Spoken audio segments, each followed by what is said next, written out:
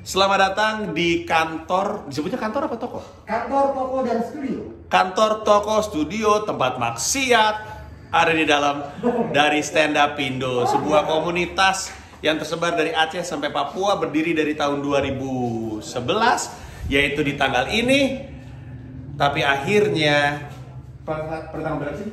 Ini tempat? Masuk. Maret.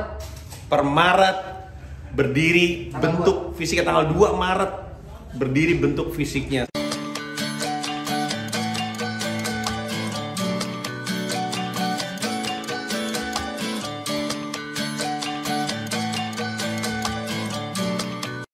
ada apa nih namanya baju-baju dari komedian berata ada gue ada eh, kaos stand up Indo ada terus.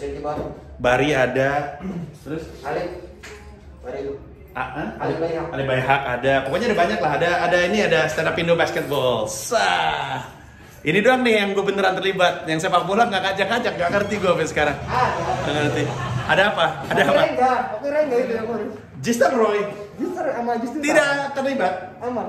Udah sampai nomor 10. Enggak itu yang pakai Langsung dikat.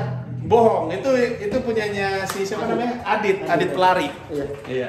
Anda, Anda, Anda koordinator sepak bolanya. Iya benar. Kenapa saya nggak pernah diajak? Mini soccer soalnya. Anda kan tidak terlalu suka mini soccer. Kata siapa anjing? Ya udah nanti kita ajak. Nggak susah kayak kayak gini. Udah gila memang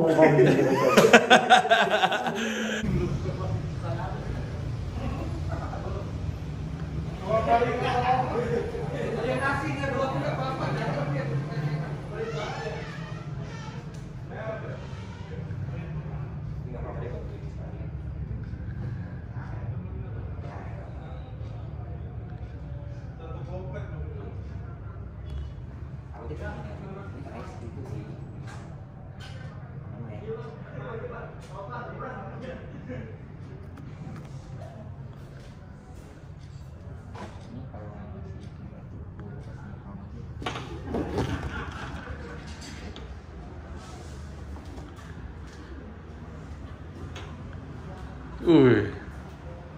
Ini apa? Ini apa?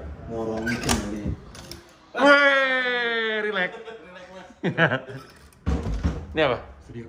Masalahnya gini. bukan stand up yang gara-gara tertawa mematikan hati itu beneran bukan gua gitu tidak bang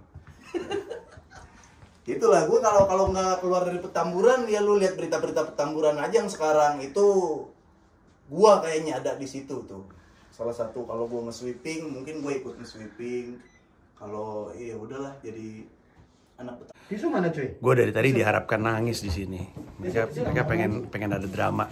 Kata Indra Jegel, eh, orang harusnya nangis ketika ngelihat kantor stand up Indo. Lu, lu nangis gak? Dari awal kan gue sendirian waktu itu kan. Maksudnya gue ngeliat nangis lah. Tapi logo belum ini. Aduh, kasihan banget. Tapi logo belum ini. Logonya yang mana? Logonya kaos ini. Ini ini. Mana? Nih.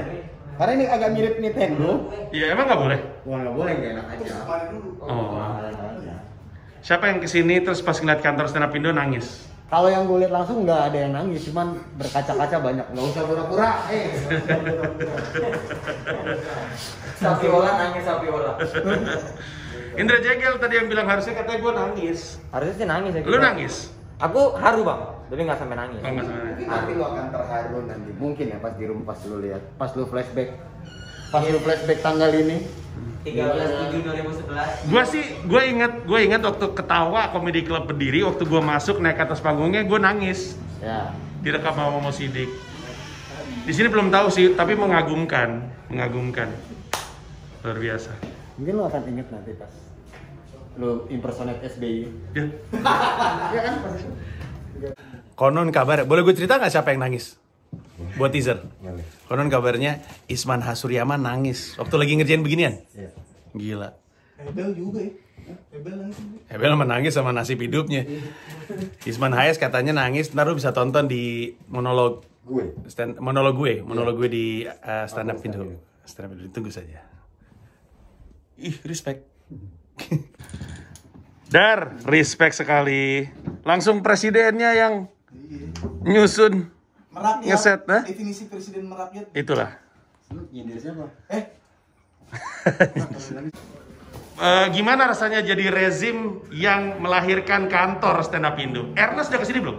Harus belum, belum. Tapi Ernest, em, oh tapi nanti ya kali ya. Saya gue pengen tahu Ernest tuh tahu keberadaan kantor ini seperti apa ya? Karena kan dia yang mulai semuanya gitu. Betul, betul, betul.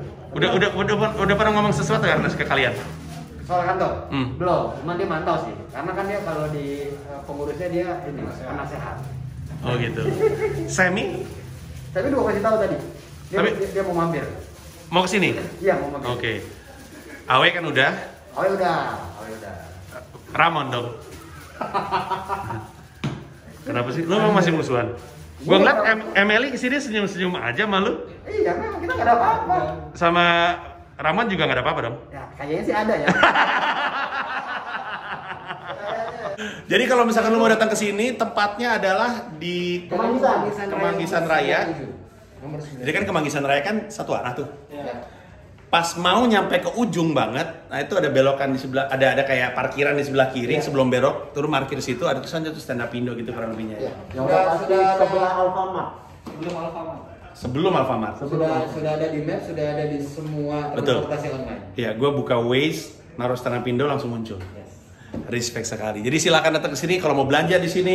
eh, buku pecahkan juga ada, ada mug, ada eh, topi segala macam. Kayaknya kalau dari komunitas baru anak Jakbar yang naruh ya. Betul. Tapi nanti akan ada juga ini Jaktim Baru. Laskar. Jaktim. Jadi pokoknya seki- se- sekitaran stand up comedy, merchandise dan segala macam ada di sini. Mana? Kemudian mana ada juga di sini. Segala macam ada. Respect. Respect. Tanda tangan. Kok ada edisi tanda tangan ya? Nah, ini mana? 2 juta. Kenapa ada di sini? Emang iya. ya udah kalau gitu deh. Silakan. Pokoknya ada di sini deh. Lu sikat aja, ya. Mantap. Respect sekali stand up Indo Viva